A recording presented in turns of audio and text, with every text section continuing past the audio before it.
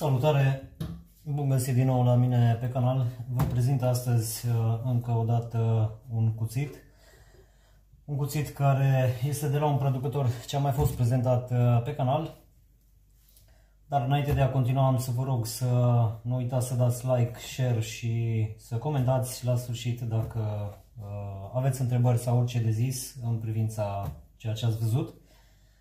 Și bineînțeles să vă abonați pentru a urmări tot, toate edițiile următoare ce apar cu ceea ce este de interes pentru voi.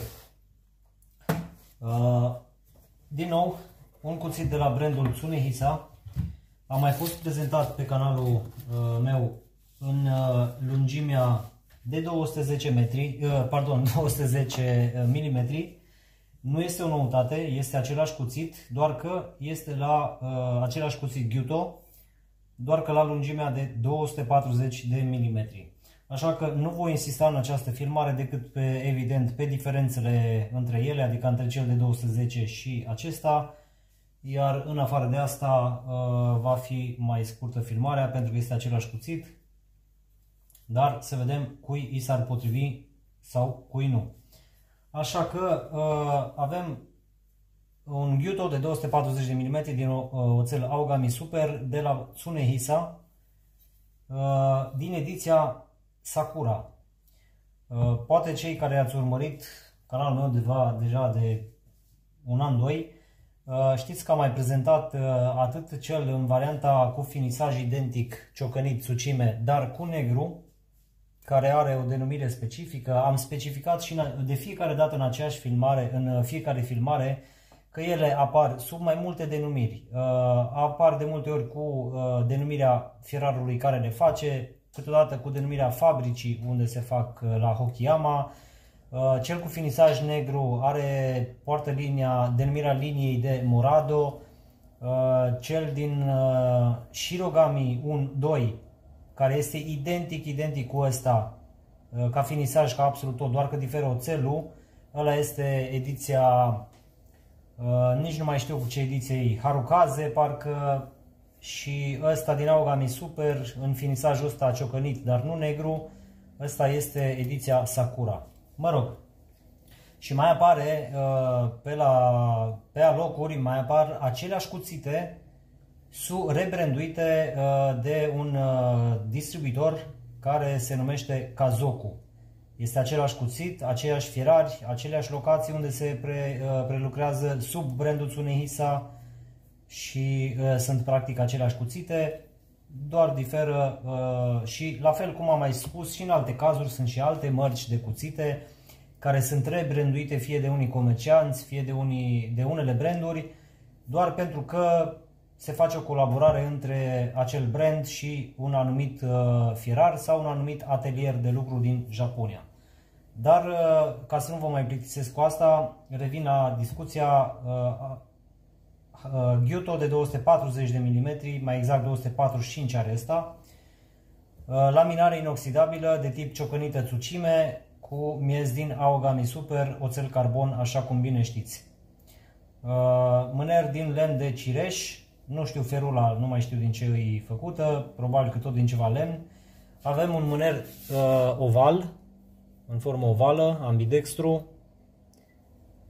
Hai să vi-l arăt și pe ăsta încă o dată mai de aproape. Foarte frumos este, a fost primul meu cuțit preferat, uh, cel de 210 mm, datorită finisajului, al oțelului, al fineții și al agresivității uh, acestui Aogami Super, împreună cu la fel ca și cel cu Shirogami, că de fapt Shirogami, cealaltă ediție a acestui uh, producător, din oțel Shirogami, ăla era de fapt preferatul meu uh, foarte multă vreme până, până la Takamura, dar totuși sunt oțeluri diferite și încă uh, rămâne printre oțelele mele preferate oțelul Shirogami 1 și 2, după care Aogami Super, datorită retenției un pic uh, mărite, mai mare față de Shirogami.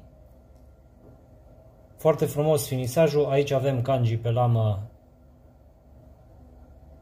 al uh, producătorului, probabil, sau al brandului, că nu știu să-l traduc sincer, nici nu mi-am bătut capul, nici nu mă interesează, pentru că știu ce cuțite sunt și de unde vin și unde, se, unde sunt lucrate și cât sunt de bune la prețul la care se vând. Uh, hai să vorbim de preț odată cu asta, uh, pentru că sunt, uh, le întâlniți la mai multe prețuri datorită rebranduirilor și așa mai departe. A trebuit să pun un pic pe pauză că a intervenit ceva. Uh, vorbeam de prețul la aceste cuțite. Uh, le găsiți uh, probabil în, pe diverse site-uri, evident, la diferite prețuri, de pe la undeva de pe la 800 de lei în sus, depinde de unde, depinde de transport și așa mai departe. În momentul de față, eu ăsta l-am adus, am adus câteva exemplare pentru vânzare și le vând la 800 de lei. Cei care ați fi poate interesați, la fel cum v-am obișnuit, mă găsiți pe Facebook la Tocilarul Timișorean, las link și în descriere. Există acest exemplar la 800 de lei și mai există cel identic la lungimea de 210 mm la preț redus în momentul de față când iasă această postare la prețul de 750 de lei. Pentru că era invers, era 825 de lei cel de 210 și asta trebuia să fie mai scump. Mă rog. Uh, bun. Deci, întrebarea sau concluzia mea este, uh, dintre toate brandurile existente, cel puțin cele care fac ce trebuie la cuțite, uh, oțel, geometrie, tratament termic, performanță în tăiere, grosimi, uh, finisaje și calitatea prelucrării, e greu să găsești uh, unul atât de bun atât de bine făcut uh, și să-ți ofere atâtea uh, la prețul ăsta. Pentru că majoritatea care oferă ceva similar, la, uh, nu la banii ăștia, ceva similar la, cu ceea ce oferă ăsta, trec de, de 1000 de lei lejer. Vorbim deja de undeva în zona de 1300, 1500 de lei, adică 300 de euro, nu undeva în zona aia cam, cam pe acolo, ceva comparabil cu ce oferă Tsunehisa uh, din toate punctele de vedere. Astfel că la 800 de lei e greu să găsești ceva atât de bun, din punctul meu de vedere. Uh, și repet, oțel, geometrie, finisaj, prelucrare, uh, grosimi, performanță în tăiere, retenție tăiș, uh, oțel augami super, evident, uh, ușor, punct de balans la asta este un pic mai în față pentru că evident este lama mai, mult mai lungă și mânerul este ușor. Uh, dar per total uh, sunt foarte bine făcute. Rare ori am, uh, rare ori am avut pe mână, pentru că am avut foarte multe cuțite de la mai multe linii de la Tsuneisa, rare ori am găsit unul ușor, strâmb sau uh, chestii foarte, nu știu, foarte, foarte minore. Poate așezat un pic strâmb în uh, mâner, dar sunt chestii care se întâmplă la, la toți, la majoritatea și uh, degeaba fac o comparație. Prin urmare, uh, ăsta de 240 de uh, mm este, hai să vorbim acum de diferențele între evidente între unul de 210 și ăsta. Din start avem lungimea, care lungimea totală diferă deja față de uh, celălalt, față de celălalt de 210. Avem o lungime totală de uh, 300 și 90 și aproape 400 de milimetri. Lama, după cum am zis, are 24,5 cm, 245 de, de milimetri. Deci este cu uh, 3,5 cm mai lungă decât cea de 210, de 21. Uh, diferă evident la lățime, la înălțimea lamei, unde la cel de 210 mm avem o, o înălțime a lame de 26 de, uh, pardon, 46 de mm, iar la ăsta avem 49. Uh, grosimea este la fel, este 2, 2 și 10 undeva, ba nu, e 2. E 2 mm. Uh, și se menține, nu are îngustare. Deci este un cuțit subțire de performanță. Iar în afară de înălțime, care clar ajută pentru cei care poate au mâna mare, mâini, degetele foarte groase, atunci când îl pui pe tocător, evident că spațiul dintre uh, mâner și tocător trebuie să fie cât mai suficient ca să nu atingi cu degetele la tocător. Și, prin urmare, aici este un avantaj față de cel de 210, uh, lungime pentru care are 46 față de asta care are 49, iar evident lungimea, apropo nu v-am arătat, cutia este identică cu toate celelalte, aici avem uh, Asta, Augami Super Oțelul, bine, e scris cumva ciudat, Tsutime, Tsuchime e finisajul, uh, nu știu ce reprezintă CRC-ul ăsta, Gyuto de 240 și niște inscripții în japoneză, mă rog.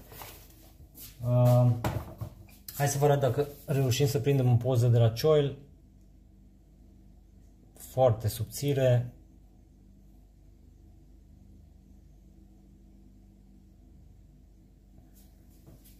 și din coamă. Deci la 2 mm e, putem zice că e din categoria laserelor și uh, a, n-am măsurat întâiș. Întâiș avem stați așa un pic 0,9 mm 0,09 mm adică ce să mai uh, subțire agresiv Geometrie de tip, cum am mai zis, este full flat secțiunea asta, după care o convexie foarte subtilă, foarte, foarte subtilă. Deci este foarte subțire în spatele tăișului față de un Fujiwara care este un hidos de, de, de pot să zic că e bardă, nu cuțită la, uh, este foarte subțire și taie foarte, foarte performant. Uh, pentru cine se potrivește, sincer, e greu de dezbătut acest uh, subiect. Uh, unii preferă lungimea asta de 240 din mai multe puncte de vedere evidente. Lungimea face diferența atunci când ai obiecte produse de dimensiuni mari, gen varză, hălci de carne mari și așa mai departe.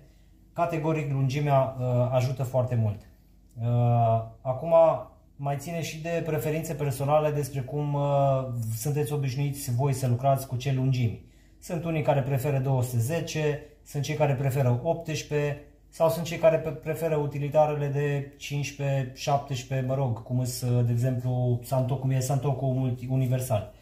Dar uh, pentru orice persoană care este obișnuit cu astfel de dimensiune, uh, este fantastic un astfel de cuțit pentru că fac, poți, e foarte versatil și poți face mult mai mult decât uh, unul de 210 sau altele mai mici. Um, acum am să fac eu o mențiune care unii probabil nu o realizează, dar cei care gătesc sau mai ales bucătarii profesioniști, de fapt ăia sunt antrenați și uh, se descurcă mai bine. Uh, odată cu lungimea vine și un dezavantaj și anume lipsa de precizie. Distanța foarte mare de la vârf până la mână uh, îi scade din precizie și atunci la uh, tăieturi de gen pe, pe ceapă, la julien, uh, când vrei să faci, datorită faptului că vârful este foarte departe de mână, uh, precizia este mai mică față, de exemplu, de un 210 sau de orice alt cuțit de lungime mai mică, da? unde este mult mai ușor, mai manevrabil în primul rând și este, fiind mai apropiat uh, vârful de mână, uh, precizia este mult mai mare.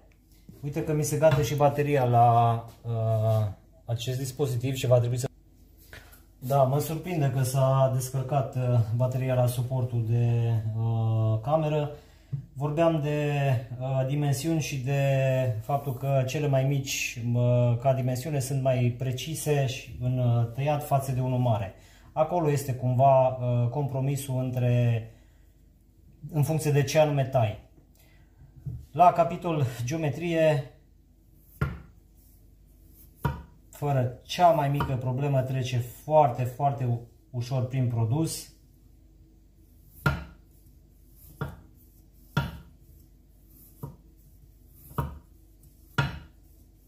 Nici nu-l auzi când trece, nu sfârie, nu pârie, nu despică, nu rupe celula.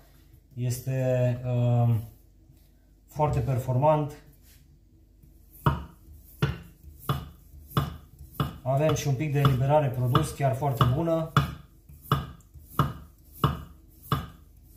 Așa că nu ar fi nevoie de mai mult de atâta, pentru că, la fel ca și în cazul celui de 210, este foarte versatil, este foarte util, mai ales pentru uh, a tăia produse de dimensiuni mari. Așa că Dacă vă interesează, îl găsiți postat la mine pe profil. Dacă nu, îl puteți lua de ori, oriunde doriți noastră. Este un cuțit foarte bun, oțelul este bun, retenția este superioară. Uh, nu am decât cuvinte de laudă pentru brandul Tsunehisa, așa cum am făcut-o uh, de fiecare dată în fiecare prezentare și am mai făcut și prezentare la brandul Tsunehisa la cuțitele din uh, oțel Jinsan. Se pare că lumea nu a înțeles încă prea bine cum stă treaba cu acel oțel Jinsan, care de fapt, în, în fapt și în realitate este un oțel superior față de VG10, inoxidabil sau semi-inoxidabil, uh, are uh, proprietăți superioare față de oțelul VG10 și uh, în retenție la fel și în performanțe. Astfel că dacă vă gândiți la ceva inoxidabil de la brandul Tsune Isa, uh, acel oțel Ginsan și acele prezentări care le-am făcut la cuțitele Gyuto de 210 mm, uh, nu le ignorați pentru că la preț de 700 de lei de achiziție față de un uh, Miabi din VG10 de 1300 de lei sau de 1000 de lei, sincer, e superior din toate punctele de vedere. Așa că acest brand Tsuneisa uh, face, face foarte bine ce face cu oțelurile și cu cuțitele și cu tratamentele termice.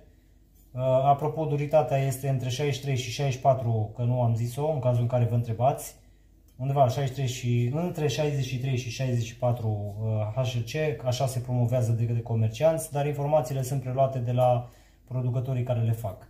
Deci, uh, prin urmare, dacă aveți ocazia și bugetul, nu ratați produsele uh, de la Tuneisa. Am zis că poate tai și o foaie așa de fantezie și de, de dragul tăiatului, că știu că unora le place. Este pur și simplu pur și simplu ireproșabil cum poate să taie uh,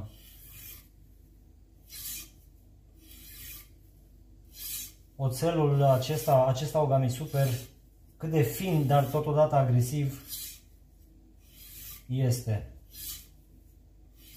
Mi-am făcut și un strop de piele mare, l-am încărcat pe o parte cu pastă diamantată, uh, fac niște testări.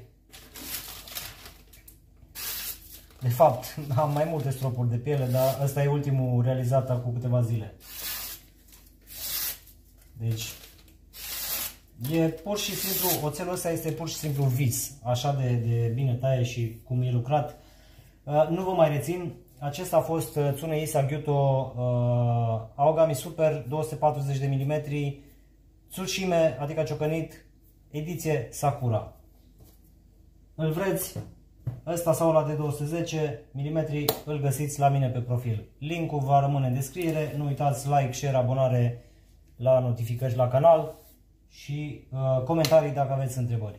Până atunci ne vedem în următoarea